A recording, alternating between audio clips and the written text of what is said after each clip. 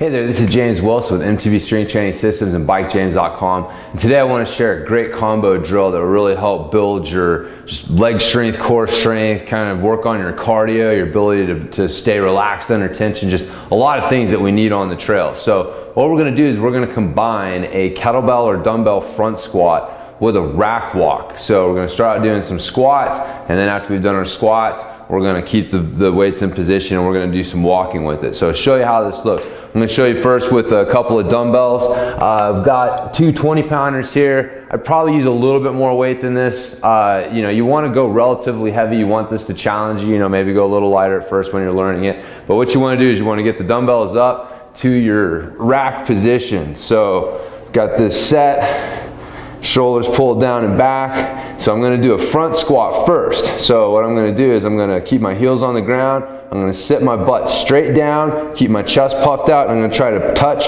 the pointy part of my elbows right on this meaty part of the inside of my knees. I'm gonna push through my heels, squeeze my butt cheeks nice and tall and thin at the top. Getting down, pointy part to meaty part, push through the heels, squeeze the butt cheeks tall and thin at the top. Again, show you from the side.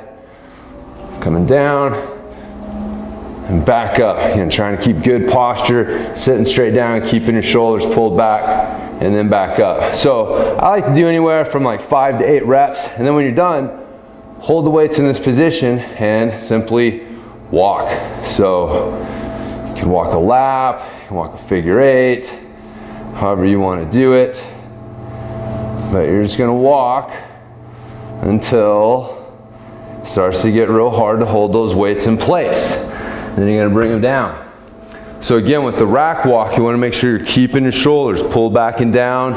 As soon as you start to feel your shoulders creeping up and you're starting to lose that good posture, then that's when you wanna stop. Even though you could probably gut out, you know, a little bit more with that bad posture, we don't wanna be reinforcing that. So again, you know, anywhere from five to eight reps with uh, a couple of, you know, moderately heavy dumbbells or kettlebells, and then walking a bit. Again, it'll become pretty evident quickly. You're not gonna be able to walk real far before it starts to get hard. You've already kind of gotten yourself tired from the squat and now that you're having to hold that posture and walk with it, it's really gonna make that core strength and that postural strength, you know, work even harder, which is again, really important for us on the bike. That's what starts to fail us at the end of rides. We start to lose our posture when we do that. We're gonna not be breathing less efficiently. We're gonna be moving less efficiently. And so again, when we need it the most, when we need to be working our most efficient, because metabolically we're towards the end of what we have, you know, we start to break down posturally and it makes things even worse. So this, uh, this little combo drill right here will really work on the specifics of being able to maintain that, that postural strength uh, as you get tired and, and be able to breathe under pressure. So